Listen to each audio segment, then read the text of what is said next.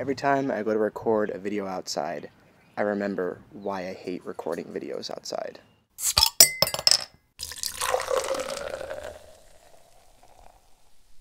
Hey guys, Shawn here from the Everyday Aficionados with a new beer from Omnipollo. This one is their Shploing Mango S'mores IPA. So it's brewed with marshmallows, graham crackers, salt, lactose sugar with mango and vanilla. It is 7% ABV. It sounds really different and interesting. Not sure how all those things are going to work together, but we'll find out.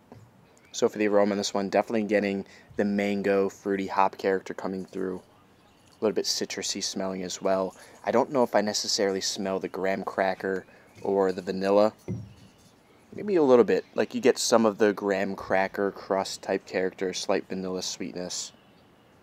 Maybe a bit of dankness in there too, but really it's all about that fruity mango hop character.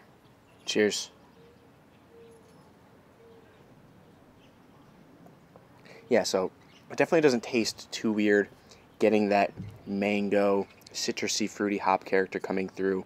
Definitely like a lemony, tangerine-like character. A little bit of a pithy grapefruit in there too.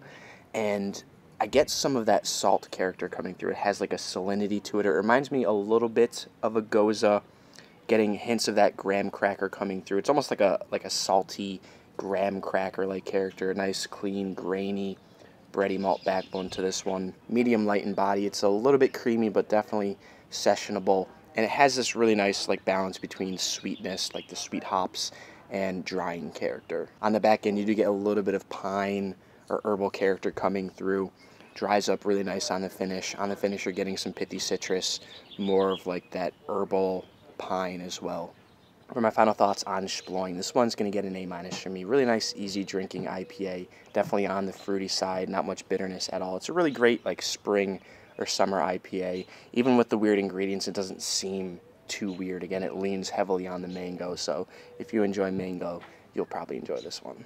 Have you guys tried Shploing? What do you think of it? What are some of your favorite mango IPAs? Let me know your thoughts in the comments below. Until next time, drink responsibly and passionately. Thanks for watching.